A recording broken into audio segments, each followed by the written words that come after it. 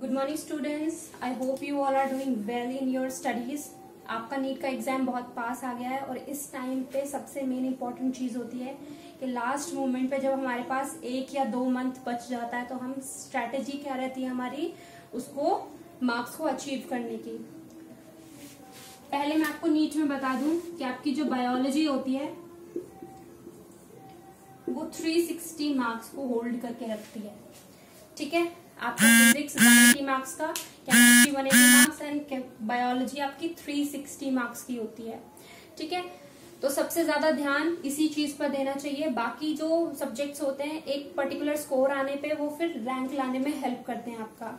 ठीक है? तो 360 मार्क्स की आपकी बायोलॉजी है। तो इसको स्ट्रेटेजी क्या है इसको फॉलो करने की? कि हम एक या दो महीने में किस तरह से हम अपना पूरा सिलेबस रिवाइज भी कर लें और हमें ज़्यादा टाइम भी ना लगे। तो सबसे पहले मैं आपको ये बता दूँ कि आपकी क्लास सिक्स के अंदर आपको पता है सॉरी क्लास इलेवेंथ के अंदर आपको पता है कितने चैप्टर्स हैं यहाँ पे? आपके ट्वेंटी टू चैप्टर्स हैं आपकी क्लास इलेवेंथ की बायोलॉजी की बुक के अंदर। Right right? और क्लास ट्वेल्थ की जो बायोलॉजी है उसके अंदर है आपके पास?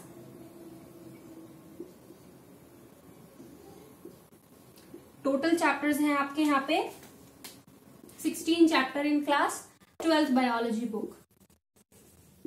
Right total यानी कि कितने आ जाते हैं आपके? 38 टोटल चैप्टर्स आ जाते हैं। आपको ये पता है कि 360 मार्क्स में से जो 80 परसेंट पेपर होता है, जो 80 परसेंट क्वेश्चन होते हैं, वो डायरेक्टली उठाए जाते हैं आपकी एनसीआरटी की बुक से। बिल्कुल डायरेक्ट क्वेश्चन होते हैं। सिर्फ़ ट्वेंटी क्वेश्चन ऐसे होते हैं जो आपको थोड़ा घुमा सकते हैं। उसमें भी फाइव परसेंट क्वेश्चन होते हैं जो थोड़े बाहर से बिल्कुल अलग ही आते हैं। राइट फिफ्टीन क्वेश्चन फिर भी ऐसे होंगे जो थोड़ा सा लिंक करके दिए होंगे एक दूसरे चैप्टर्स को। Right right? लेकिन 80 परसेंट क्वेश्चन ऐसे होते हैं जो directly from the NCERT line आपको डाल के दे देते हैं। Right right? तो उसके लिए आप क्या करोगे? लास्ट मूवमेंट पे आपको पूरी एनसीआरटी जो है 38 चैप्टर्स हैं। सपोज़ अभी भी आपके पास कितना मंथ्स है? आपके पास एक महीना, पूरा दो महीने बाकी है। तो उस टाइम पर भी आप कैसे करोगे? एक चैप्टर को रीड करने में थरली रीड करने में ज़्यादा से ज़्यादा एक घंटा लगता है। चलो मैक्सिमम हमने टू आवर्स मान लिए। ठीक है? मैक्सिमम है ये। वैसे वन आवर भी मैक्सिमम है। आप पूरे साल तक अभी तक पढ़ते आए हो एनसीआरटी ठीक है? तो अब ये लास्ट रिविजन है तो आपको बहुत कम टाइम लगेगा दोबारा रिवाइज करने में राइट तो एक चैप्टर जो है लाइन टू लाइन यानी कि आपको हर एक चैप्टर की लाइन पता होनी चाहिए, किस पेज पे थी, किस चैप्टर में थी, किस पैराग्राफ में थी, क्या वर्ड लिखा हुआ है राइट इस तरह से आपकी एनसीआरटी e पूरी तरह से तैयार होनी चाहिए राइट और वो रीडिंग करने से ही आएगी राइट और लास्ट में उस चैप्टर से रिलेटेड प्रीवियस ईयर के क्वेश्चंस करने हैं आपको बस। तो आपको आइडिया लग जाएगा कि मैक्सिमम क्वेश्चंस आपके बिल्कुल एनसीआरटी से ही निकाले गए हैं। मैं एक और वीडियो बना दूँगी आपके लिए कि जो डू और डाई वाला जो सिलेबस होता है ना, कि ये पर्टिकुलर टॉपिक्स कुछ ऐसे हैं, फेवरेट हैं, नीट के, कि यहाँ से क्वेश्चन ज़रूर बनाते ही बनाते हैं हर साल। ठीक है?